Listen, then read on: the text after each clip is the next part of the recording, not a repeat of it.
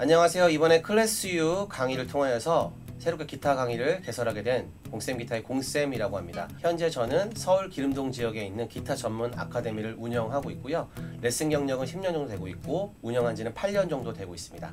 그동안 오프라인 레슨을 통해서 기타를 치시고 싶어 하시는 수많은 분들을 만나 뵀었는데요. 기타를 잘 알려드리는 강사보다는 기타에 더 즐겁게 다가갈 수 있는 그런 헬퍼로서 역할을 담당하였습니다. 그분들과 함께 진행하였던 강의 속에서 배우게 된 저 나름대로의 수많은 노하우들을 이 강의를 통해서 모두 풀어보려고 합니다. 모쪼록 여러분께서 이 강의를 통하여서 기타의 입문과 그리고 좀 더 기타 실력이 업그레이드가 될 수 있는 그런 시간이 되셨으면 좋겠습니다. 참고로 이 강의는 기타를 한 번도 잡지 않으셨던 비기너 분들부터 시작을 하려고 합니다. 그렇기 때문에 내가 어느 정도 기타를 좀 친다 하시는 중수 이상이 되시는 분들께서는 조금만 이 강의의 업데이트를 기다려 주시면은 여러분에게 맞는 강의의 내용도 나올 것 같습니다. 저와 함께 기타의 세계에 빠져들 준비 되셨죠? 저와 함께 하신다면 기초부터 차근차근 기타에 대해서 그리고 더 나아가서는 음악에 대해서 더 즐길 수 있는 그런 시간이 될 거라고 확신합니다. 자, 그럼 지금부터 강의 시작하도록 하겠습니다.